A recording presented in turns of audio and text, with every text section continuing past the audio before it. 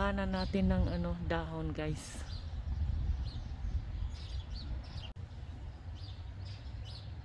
Ito yung na-harvest ko doon sa kill natin, oh. Magsopas lang tayo, guys.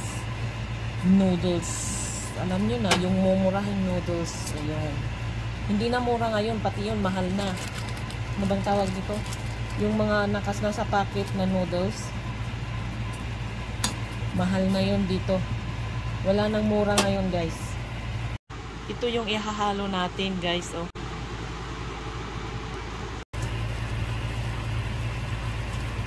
Ayan na guys. Tapos yung onion, kasi tin-transplant ko, tinanggalan ko ng dahon. O diba, solve ang ating lunch guys. Meron naman akong nilutong spaghetti kahapon. Meron pang tira pero gusto ko na yung mga soup. So, kain na tayo. Let's go!